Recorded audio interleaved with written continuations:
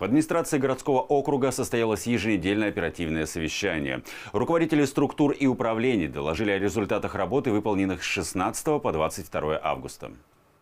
На минувшей неделе порывистый ветер повалил 114 деревьев. Повреждены 5 автомобилей. Удалить деревья планируют в течение недели. Управляющими подрядными организациями ежедневно проводились работы по содержанию городских и дворовых территорий. Всего привлечено 130 единиц спецтехники и средств малой механизации. На дворовых территориях силами управляющих организаций проводится ямочный ремонт. Устранено 75 ям. Общей площадью более 510 квадратных метров. Началось обустройство пешеходных дорожек в рамках программы «Народные тропы». Работы запланированы по 25 адресам и будут завершены до 31 августа августа. Внимание уделили и парковым зонам.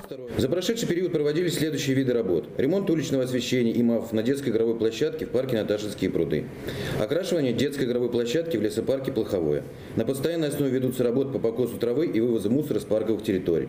С 16 по 22 августа в парках провели более 30 культурных и спортивных мероприятий. Айтат Чирагова, Сергей Гвоздев, Денис Заугольников, телеканал ЛРТ.